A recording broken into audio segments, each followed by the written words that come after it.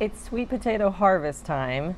This seemed like the perfect time for me to look back and see exactly how we got such a great sweet potato harvest. So let's go from start to finish on how to grow sweet potatoes. And for those sweet potato purists, let's call it from slips to tubers.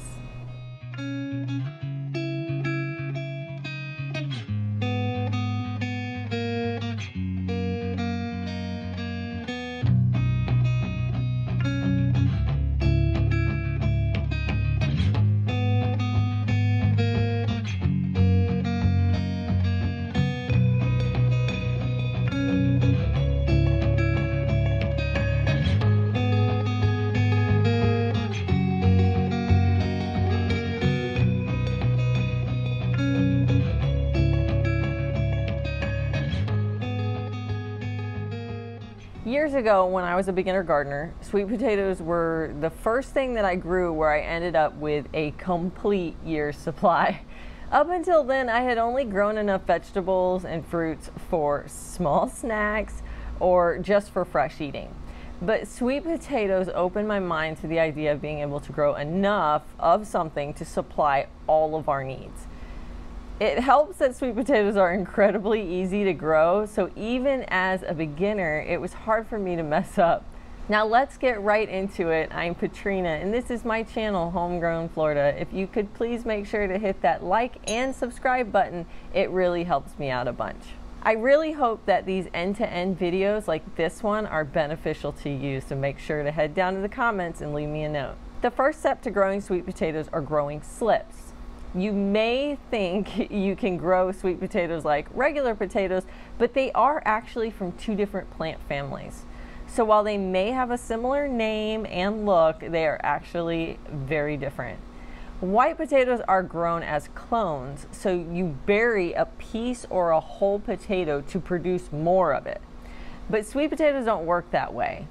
It actually is possible to bury a sweet potato and grow more, but you will run into several problems leading to very small potato harvests. This is because you should actually be growing the slips from a sweet potato and not the actual potato.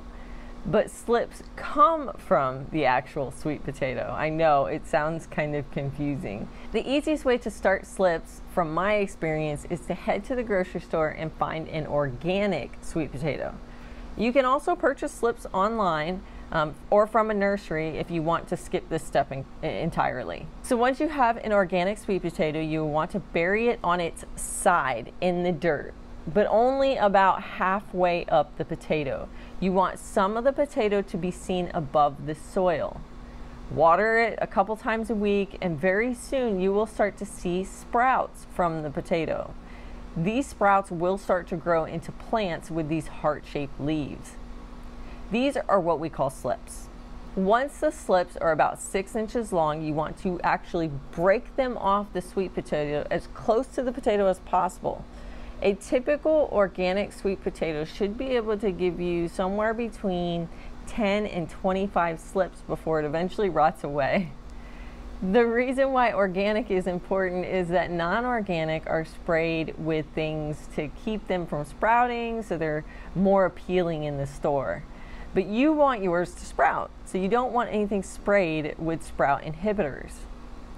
So once you've broken the slip from the potato, I like to leave them in a cup of water in indirect sunlight for a few days. In that time, you will start to see them grow these little white roots.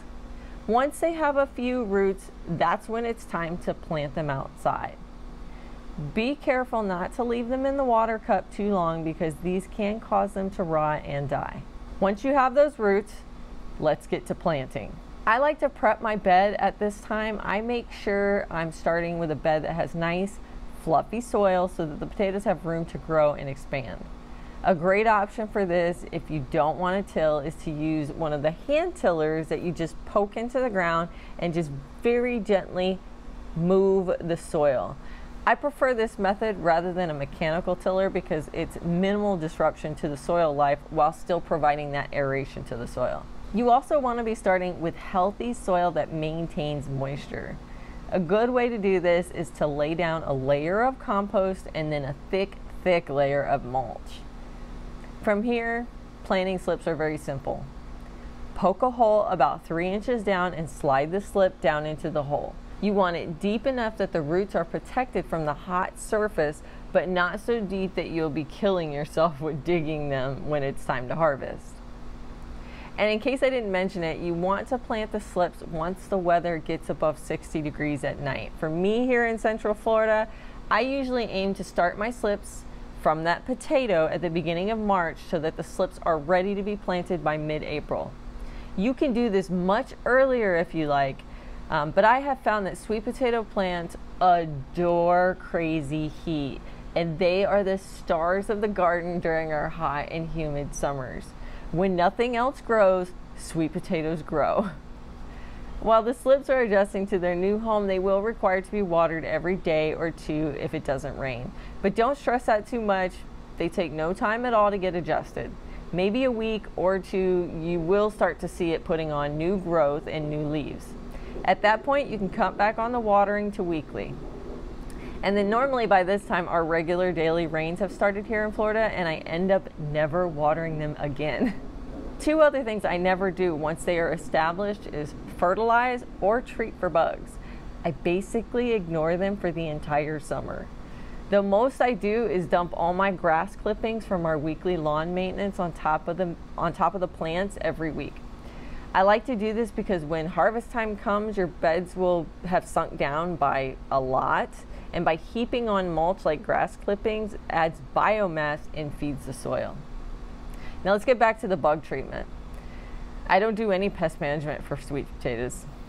This does not mean that they are pest proof. The leaves get eaten up like crazy and I actually found a snake in my little huge jungle of sweet potatoes and a ton of spiders, but none of that seems to affect the yield, so I don't fuss with it speaking of that jungle of sweet potatoes um, that's created from all those vines, I have managed the vines in two ways in the past. One year I trimmed all the vines so that they stayed in the bed, but I feel like the potatoes ended up being smaller. Since then, all I do now is I just push the vines back into the bed any way I can.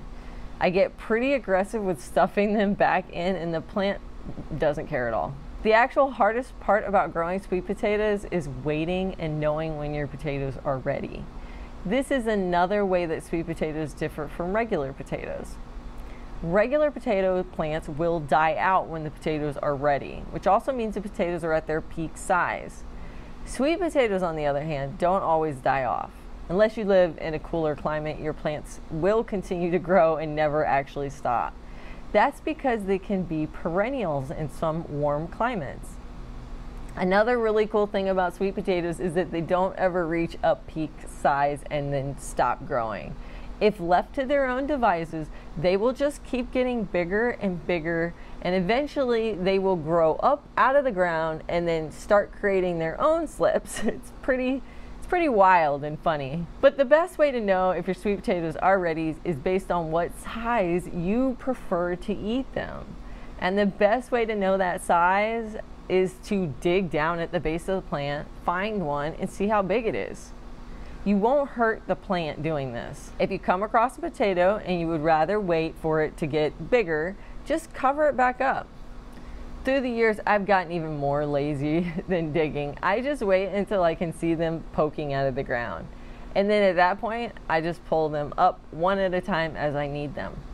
I normally don't harvest all of them at once until I actually need the bed for fall gardening in September or October. I know lots of people that even wait until November. So now it's time for harvesting.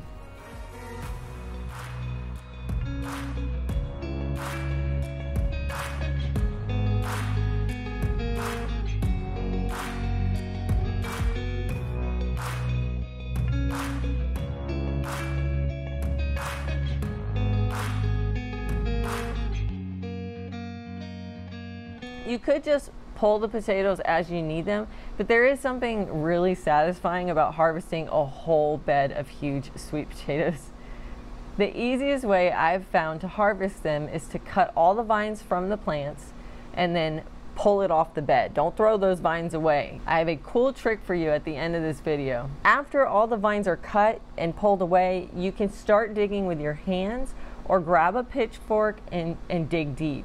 You want to avoid piercing the potatoes, so I always start the pitchfork at the edge, the very edge of the bed, straight down, and then come under the plants. And when you lift up, all the sweet potatoes will appear. Then just keep making your way around the bed. You will notice that you're going to get different size potatoes, different sizes and shapes. Some small, some huge, some round, some long and skinny. They all taste wonderful. I actually love to use the little tiny ones as fingerling style sweet potatoes. They are my favorite. Now that you have all your potatoes harvested, it's time to cure them. And curing is just a really fancy term for allowing the potatoes to thicken their skin and convert the starches to sugar so that they're sweet. The best way to do this is to find a very humid, dark, hot place to lay the potatoes out. My garage is the perfect place for me. Be sure not to wash the dirt off the potato. That dirt will protect the skins of the potato while they are soft until they have time to harden. I leave them in my garage for two weeks and then I brush off the dirt and put them in a paper bag and store them in the house at room temperature. I still don't wash them. I wait until I'm ready to use them to wash the dirt off. They should keep for a year like this. I had sweet potatoes last longer than a year doing it this way. Be sure that you pick a potato or two as the ones you want to use to make slips from next year. The bigger the potato, the more slips you can get off of it. But even the tiny ones will create slips. So really, just save the ones you probably won't eat as your next year slip potatoes. Maybe ones that have damage or bug marks or some that are least appealing. Now let's talk about what to do with all those vines. I strongly discourage you from composting sweet potato vines unless you have a very large composting operation. They take a long time to break down. And more likely than not, they will actually just start growing more potatoes instead of breaking down. So what do you do with these? One thing you can do is clip off all the good leaves and blanch them and freeze them as a greens for the year or like a spinach substitute. You can also eat them raw in salads. But the thing I love to do with them is place them back in the bed after I'm done harvesting them and fill the entire bed with wood chips or another heavy mulch. You basically want to bury them under that mulch. And in a couple weeks, you will see new vines emerging and another round of sweet potatoes starting to grow. No need to make slips ever again with this method. But this does mean you will have a bed always in use, so I understand that this isn't always for everyone. Also, if you live in a cold climate, this might not work for you. This year I harvested 30 pounds of sweet potatoes from just one 8 by 4 foot bed. The average amount of sweet potatoes that Americans consume each year is about 6 to 7 pounds per person. Jason and I probably eat more than that average because I do use them in place of regular potatoes a lot since I can grow these easier than regular potatoes. Last year I grew 20 pounds and we ate all of them. How many were you able to harvest? I'd love to hear about it. Head down in the comments and leave me a note.